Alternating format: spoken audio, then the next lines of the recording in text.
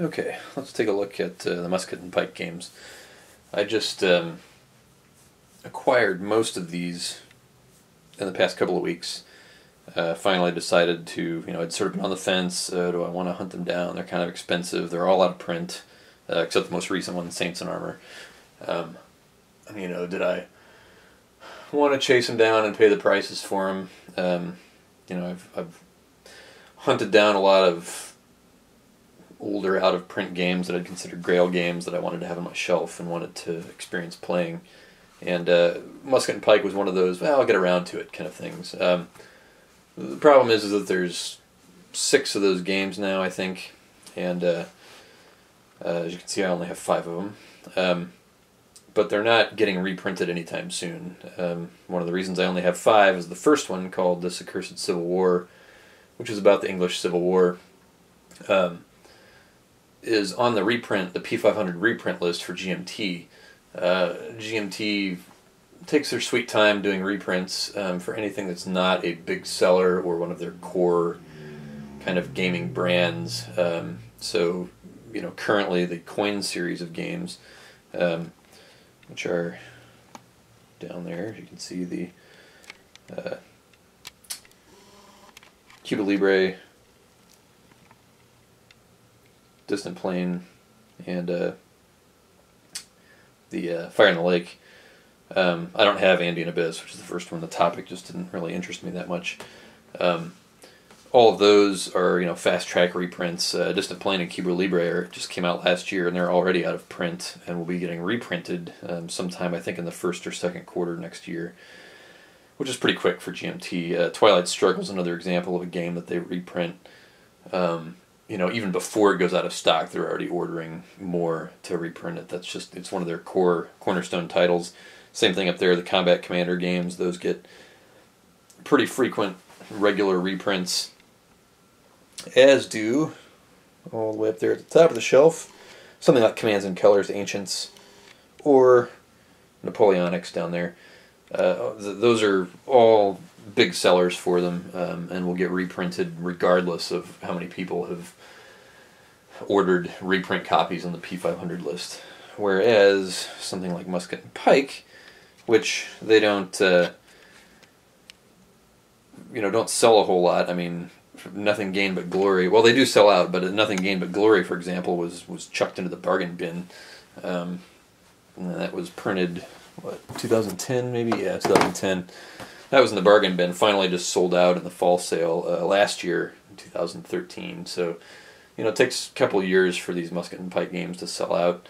Um, but sell out they do. Uh, Nothing Gained But Glory did sell out, and I imagine Saints and Armor will probably also sell out. Um, part of the problem with Nothing Gained But Glory is that it covered the Scanian War, which you know I certainly never heard of, and I'm a pretty big military history buff, so um, pretty tailored specific uh, um, battles that are uh, being chosen for some of these games, and uh, not a lot of people know about them, so they might not might not sell as many copies. Um, Saints and Armor, the newer one, covers some more well known battles um, of the Thirty Years' War, so I think that one will probably sell out faster.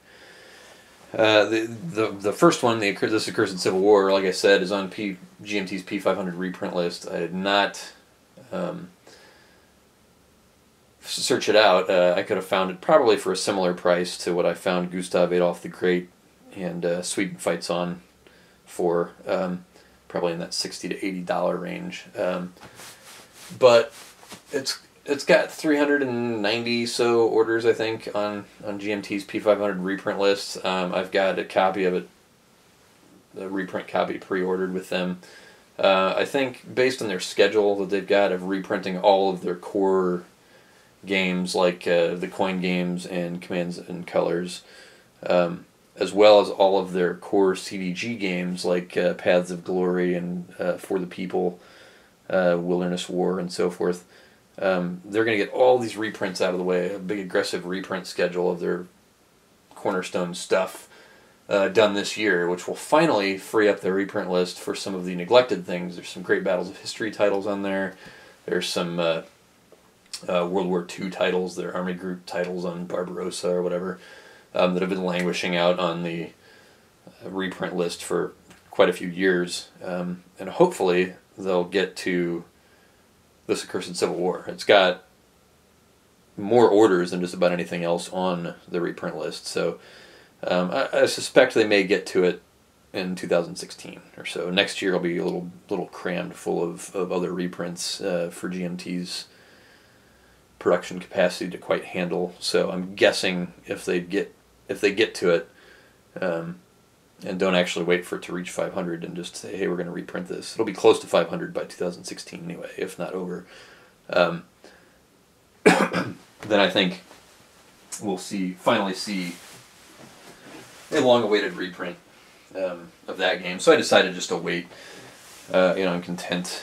This is the five games that I have here, none of which I've played yet. Uh, will be plenty of gaming um, just by itself, in addition to all the other crap that I have on my shelves that I haven't gotten around to playing yet. That's what happens when you uh, get back into the hobby of wargaming quickly and uh, want to establish um, a, a sizable collection in a fairly short period of time. You end up with a lot of things that you haven't played. Although I've played, uh, I mean, I'm pretty proud of what I've played uh, that's on my shelves so far. Um, but there is my to be played, my unplayed stack is still fairly, fairly large. Um, so, and I just made it a lot larger by getting these games. Um, I wanted to go over them because I've actually, uh, Under the Lily Banners was the only one that I had prior to this point. This is actually the third title in the series, um, which covers some of the French and Spanish fighting um, in the Musket and Pike series. This one I actually found at a game store on the shelf last year, and it came out in 2005. Uh, found it on the shelf at a game store last year for MSRP, so I picked it up because I thought, hey, it's out of print. I'll get a copy of it for 60 bucks. That's about what you find it for auction or eBay, or you know, you might might even cost more than that in some cases. So why not pick up a shrink shrink wrapped copy? So this is the only one that I've actually punched and clipped all the counters for. So I won't go through. I won't open this one. I just set it out there to uh, to show the scale of the collection. Uh, all, all the other ones, though, I just got recently enough that I haven't actually punched them out. And three of them, uh, Gustav Adolf, Saints in Armor, and Nothing Gained But Glory, were all shrink wrapped uh, when I got them, which is pretty nice. Uh, Saints in Armor I got in the fall sale um, just uh, two weeks ago. And Nothing Gained But Glory, I found a shrink wrapped copy on a BGG uh, auction um, for fairly cheap, 35 bucks. Gustav Adolf the Great, I found uh, eBay auction for 60 bucks. Found that shrink wrapped. Um, Sweden Fights On, a little more expensive. I found that on uh, uh, ConsimWorld. I sent out a looking for email or a posting on the ConsimWorld marketplace, and a slew of wargamers were quick to reply um, and hook me up with the copy. But that was not shrink wrapped, that was used. Um, so I thought, hey, uh, you know, I don't know if anybody's done unboxing videos of these uh, of these older musket and pike games. I know people did it for Saints and Armor, so I'll skip the Saints and Armor uh, unboxing. Although the cool thing about this is that these, this series has spanned from 2001 to present, um, and it does a pretty cool job of showing you Rodger MacGowan's uh, evolving art style um, just in the past 15 years. You know, he's been around since the 70s, early 80s, doing, um, you know, some of the famous Avalon Hill covers and things like that. Um, he is the in-house artist um, uh, for GMT, um, probably the only in-house artist that any of these, uh, and by in-house, I mean he doesn't actually work at the warehouse at GMT, but he is their guy on staff who does exclusive, covers exclusively for GMT, and does their C3I magazine. Um, probably the only publisher that actually has an artist that's on staff. Otherwise, they contract all this stuff out. They may contract it out to MacGowan too, for all I know. But all I know is that he does exclusively uh, GMT stuff. So, um, but the, these the covers of these are a great example of his changing artistic style over the past uh, 15 years. The oldest one, Sweden Fights On, is the second title. Um, so here and maybe I'll move this so I can get a better look straight down instead of trying to hold it up in front of the camera. Um, here you've got what I call his um, classic sort of clip art phase, where he would take these images like this guy or this guy, and then you know you can see this, this stuff in the background. Um, little things here like the the helmet and, and coat of arms and stuff. Take it from these these images from disparate sources and sort of stick them on in a composed, you know, a composition. Um, cover. You know, here he's put up, kind of put the map in the center of where all these battles are taking place, then lists out the battles, um, puts the game designer's name on there. This is from 2003.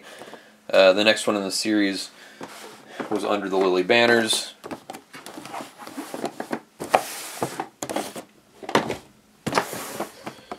Which is very similar. Um, you've got, you know, images probably sourced from different areas. This one he reuses, and he reuses a lot of his images. Um, again, listing out the battles there. No map this time on this one. Um, you've just got characters from the particular battles or the era that these particular battles were fought. Uh, again, with this sort of grayed out, um, you know, lithograph style stuff uh, in the background um, that he used similarly on the Sweden Fights On and kind of in the background there. So these two fairly similar um, repetitive themes here. You've got the swords in the background behind the battle. Same way you've got the swords kind of in the background behind the battles there. Um, by the time the fourth one comes around, which is Gustav Adolf the Great, first of all you got a different color. Um, the two box, other two boxes kind of had tan coloring. This one's all blue. Um, now you're getting to kind of a single image on the cover. You don't have this collection of images from different um, periods. You've just got Gustav Adolf himself there in a, you know, an old print from some kind of source that he's pulled this from.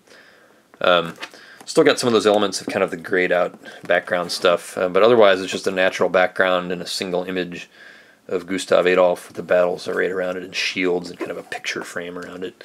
Um, so sort of a theme of of uh, since the game is Gustav Adolf the Great, the theme of the cover here is a picture sort of honoring Gustav Adolf. Um, you know, with the interesting script um, there that he's and he's done different scripting for all the titles on all of these. Uh, and that's by 2006, so that's a three-year period there, um, where he's kind of moved from the assembly of images to the single image um, on the cover.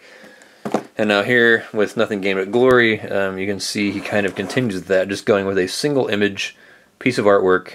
Um, not the greatest quality of the image here on the cover, and I don't know if that's the best quality of the image that you can find. Probably not a lot of, not a substantial body of artwork on the Scanian War. Um, so you know you work with what you have, I guess. But you can see he's also moved back to doing sort of the coat of arms and the musket and pike, because um, it is the musket and pike series. So uh, why not? Um, and you can see here where the game design here is actually no longer um, Ben Hull, who was the original designer of the series. Um, these this one uh, we had some different guys doing this um, than than Ben Hull, who is now let other developers come in, other designers come in and take a crack at his system. Um, it's got seven battles in it though, which is, pretty good um, you know, compared to Sweden Fights On, which I think has only four battles. So. Uh, nice collection of battles here. Nothing gained but glory. Um, but again, we're back to the tan colored box here. Um, but with this, with just a single image, um, just a little reference to the coat of arms and the clash, cross swords again, and then you know again a sort of a seal here of I don't know Sweden or somebody. Um, so kind of a return to form there, but sticking with the single image of main artwork instead of the sort of assembly clip art stuff. Now that's 2010. By 2012, for Saints and Armor, this is where Rodger MacGowan has now moved to doing um, just, in most cases, just a single piece of period artwork, or if not artwork from the actual period, then a single piece of artwork depicting a scene from the actual period. um, and usually an oil painting of some kind. And so his his uh, games in general over the past three years, two or three years, have started to take this route where he we no longer see this assembly of disparate sourced images that we get on the covers of Sweden Fights On, the Lily Banners. We've now moved to these single pieces of artwork in which he composes. Um, you know, you still have an elaborate scripted title, but he'll compose the design around a central piece of artwork. Um, and you'll see that on any of the newer games uh, that he's done. Um, Dark Valley goes that route. Um, no Retreat goes that route. Uh, definitely the 1914 games and uh, Ted Raicer's 1914 Glory's End and Dual Pack. All those came out within the past several years. Uh, 19, well, Twilight in the East um, is a little older format. Um, Offensive Outrance is definitely part of his newer sort of single piece of artwork. Um, other titles that he's doing single pieces of artwork on, I guess Crown of Roses. There, that's one. Uh, Blood and Roses definitely um, followed this the single piece of artwork. Um, Unhappy King Charles, I know, did the same kind of thing. Um, then down at the bottom there, uh, uh, Serpents of the Seas, single piece of artwork. Iron and Oak, single piece of artwork. So, uh, and you know, there's lots of other um, GMT releases recently. Those are just the ones I'm pointing out that I actually own. Uh, but he's certainly done it um, with a lot of their releases in the past couple of years. So just one of those things I find interesting um, to see how somebody who's been in the business that long to see how his own style uh, evolves over time. So let's take a look at uh, Sweden Fights On.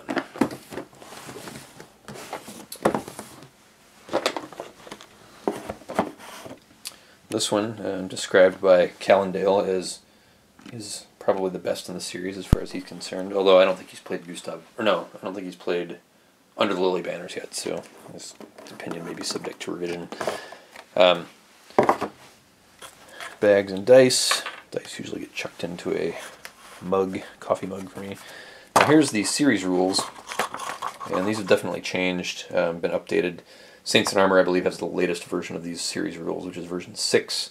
Um, so this now is just kind of a quaint antique um, of an earlier era of the Musket and Pike series to be looked at only as a curiosity. Uh, the playbook playbooks for these are generally very good. Um, I like the artwork on the cover of that one. Uh, lots of good historical notes um, that Ben Hull usually puts in here some designer notes, uh, although it looks like just one page of designer notes there. Um, scans of the counter sheets. But, but, these little tactics section sections he puts in there, I've been reading it on uh, reading the tactics section for Under the Lily banners too. I don't know if there's one for Gustav Adolf the Great. Uh, I guess we'll find out. But it's really nice to see tactics. Um, you know, for these era of for this era of games where you know people aren't, especially Americans, aren't familiar with this style of fighting from this era um, that a lot of these battles were fought.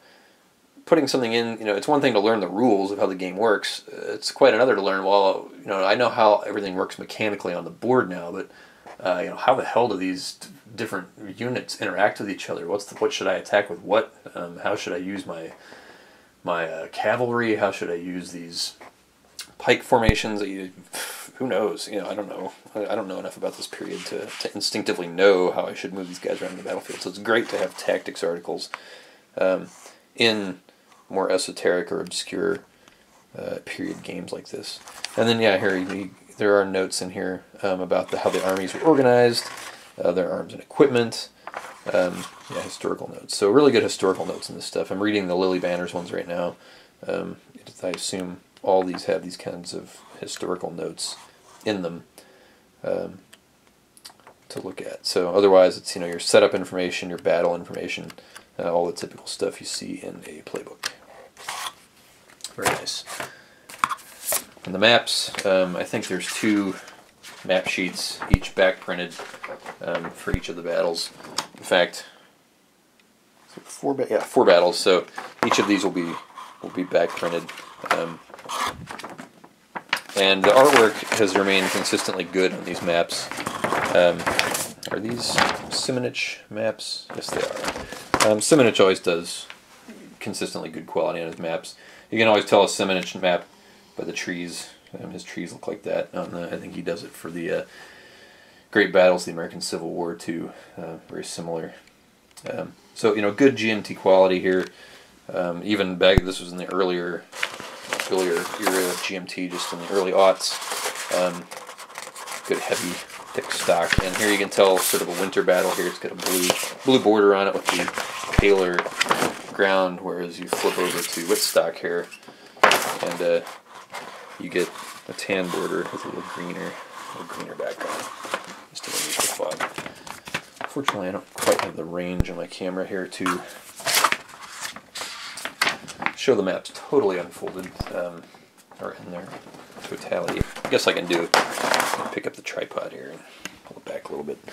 Um, so here we can see the Nordlingen map and with kind of a huge uh, huge piece of artwork on there because it's a little smaller space. And this is one where the the map is vertical as opposed to horizontal.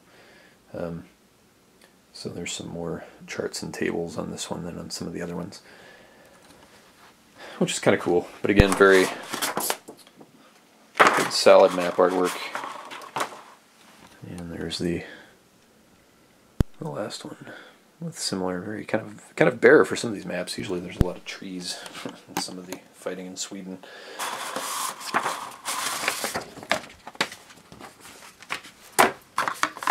And although only one player aid card, I looked on the back, and sure enough, that's correct. This is it. So, uh, you know, scan copies for your friends, I guess, because otherwise you're going to be passing it back and forth between the two of you.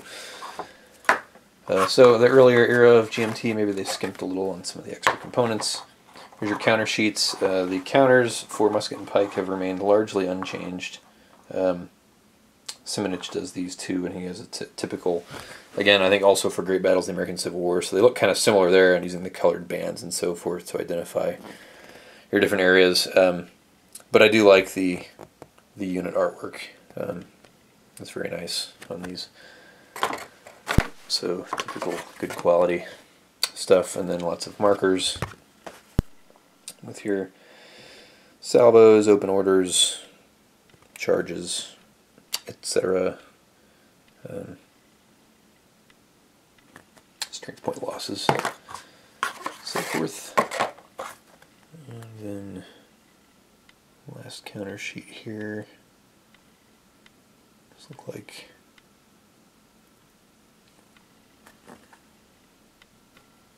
more. Not sure which side. I can't even tell which side is which. It's done by symbols here. I think the Swedes were the blue counters, and those would be whoever they were fighting. So there we have Sweden fights on. Not too much in the box. Under Lily Banners is already punched and clipped, but I thought this would be a good opportunity to do Gustav Adolf the Great, which I just shrink ripped today and I haven't even opened the box yet, so we'll see what's in there. Hopefully everything's there, because I don't know if GMT will be able to replace this stuff. I think they'll keep replacement counter sheets and so forth hanging around. Packed by Denise, and the usual GMT customer service thing, and how many battles are in this one? five battles? Yeah, so I'm not sure if there's going to be two maps back printed or if on one of these, or three maps with one that's not back printed. This one is not back printed, so um, here. Breitenfeld, Honigfeld. Ah, so this has two on it. So it's probably one, maybe three on one. Not sure exactly how they'll do it here. Colors are a little different on these, um, but otherwise still Simonitch doing the doing the artwork. Who's nothing if not consistent.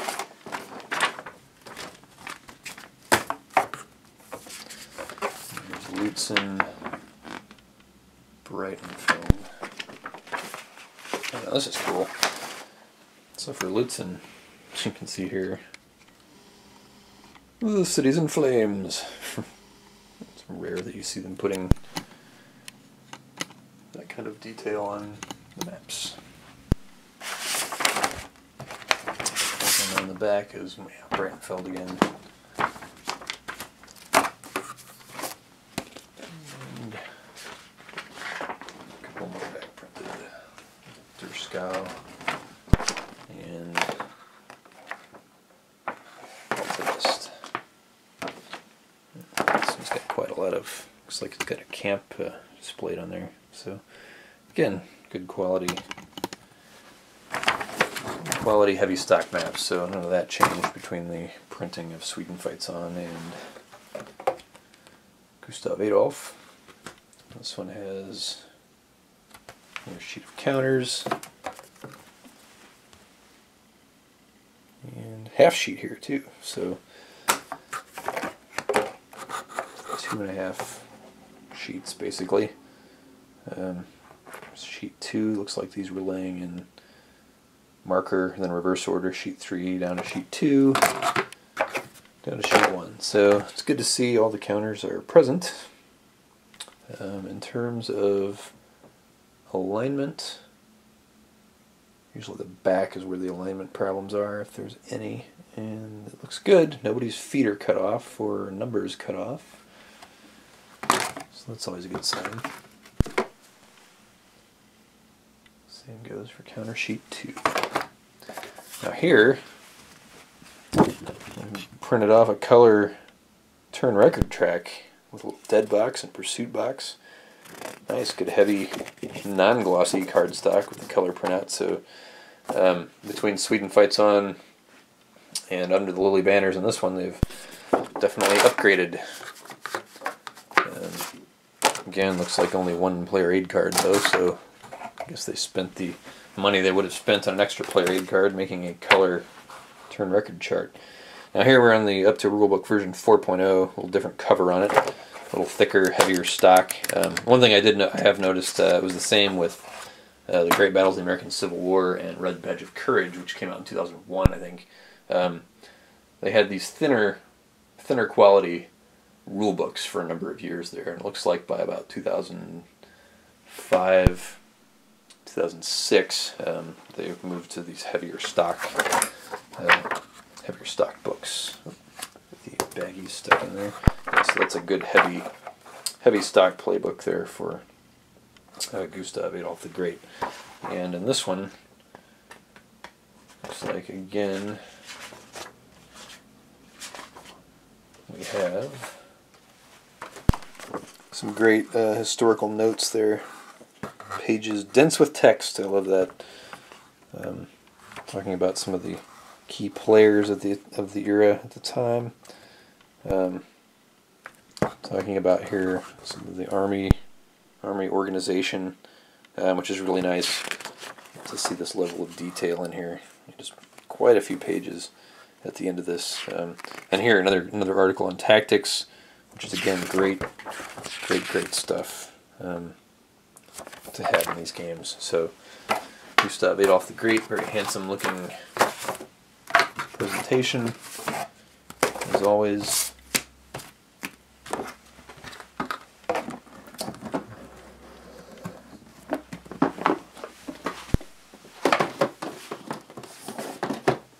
And we'll go ahead and take a look at Nothing Gained But Glory.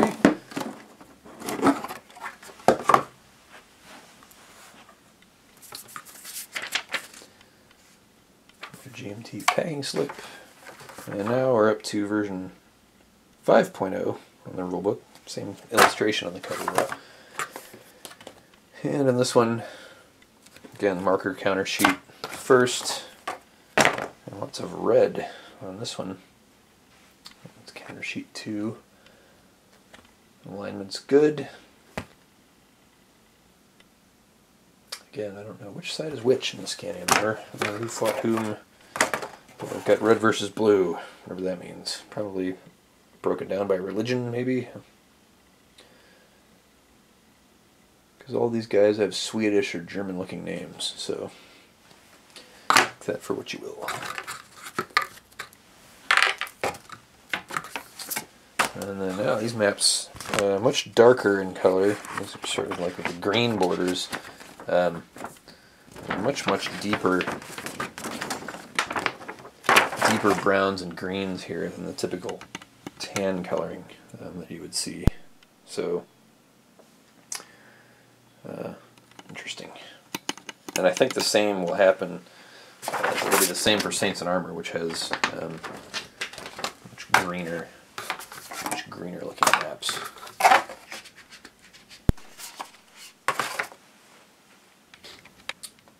So there's definitely a change in the maps uh, here. Well, this one certainly is different than anything I've seen in the series up to this point. Uh, there's a siege, basically. This is the assault on Malmo. And I don't know if there's a, a battle that leads up to the assault on Malmo. The, the name's familiar, but anyway, this is a smaller extra map here. But again, lots of browns and greens. Um, this one looks like, this is Lund, looks like it's winter. Because um, it's got the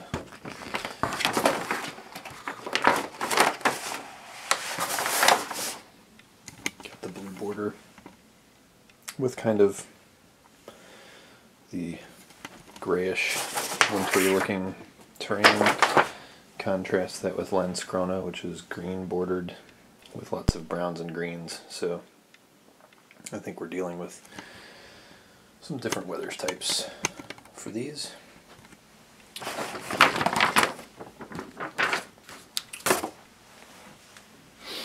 And again here, here's the playbook. Another good thick playbook for nothing gained but glory. And let's see. Yep. Lots of again more excellent historical notes. Um,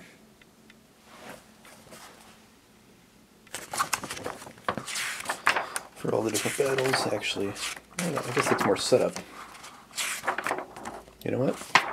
Not more excellent historical notes. Those are actually, that was actually just more setup stuff. I guess because there's seven battles in this one. Um, there's good notes for each, good historical notes for each battle. Um, but not the sort of tactics breakdown and army uh, composition breakdown that we saw. Oh, I guess I spoke too soon. I was sitting here the whole time. Playbook 2, notes and bonus scenarios. So here, so this time, the historical notes are get their own entire book. So I stand corrected. The historical notes are very good because they had to offload them to another book. And this is, again, the obscure nature of this particular conflict, um, the Scanian War. Um, right here, historical narrative of it. So, and this goes on, lots of good maps, goes on for quite a few pages. Um, and then a nice bibliography of um, Scanian War sources. So, a little bit on weapons, firearms, um, designer's notes. So really nice. Again, just another A plus uh, historical presentation for musket and pike, and it looks like here they've got two of these colored, a little thinner and a glossy stock compared to what was in uh, Gustav Adolf the Great. Um, but they've got two of them, so now each side can have a dead box and a uh, pursuit box, so that's good. And finally, two player aid cards. So, um, GMT spending the big production money to get more player aid cards this time and more color player aid cards. So, it's the evolution of the company over time there. By 2000, by 2010, they were putting a lot more a lot more stuff in the box. So anyway, that's a look at uh, the Musket and Pike games, the uh, evolution of Rodger MacGowan's artwork over the course of the series from 2000. Well, we didn't see the cover from 2001 for this accursed Civil War, um, but if you've seen that online, I can guarantee you the Accursed Civil War cover looks very much like Sweden Fights On. You've got two images of two guys standing on either side of a map, I think. So Um, so the the look of it there is very much the same.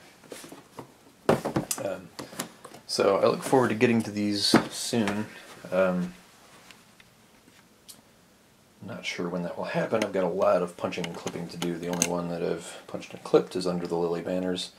And I also have um, something else that I had just acquired recently uh, at the same time as the fall sale that's actually based on Musket and Pike, and this is Avec Infini Regret. Um, pardon my butchered French there. Uh, and this is from the publishers of Vae Victis, Vivictus magazine. Um, and uh, this actually uses, it's the Wars of Religion, uh, Volume 1, and it covers a couple different battles here. Dreux, Coutras, and La Roche-l'Abeille, um, some battles from the 1500s. But this actually uses um, a version of the musket and pike system. Uh, sort of a, I've heard it described as mus musket and pike light. Um, and they, it's not quite as heavy as the musket and pike system, which is a tactical system, is fairly heavy, um, especially if you're not um, familiar with that era of combat. Um, and so this Avec Infini Regret uh, is apparently more of a kind of streamlines things and makes it a little bit easier system uh, to handle little smaller battles, I think, than what the Musket and Pike games give you. So I may actually start with that and then work my way to, to Musket and Pike, um, but we shall see.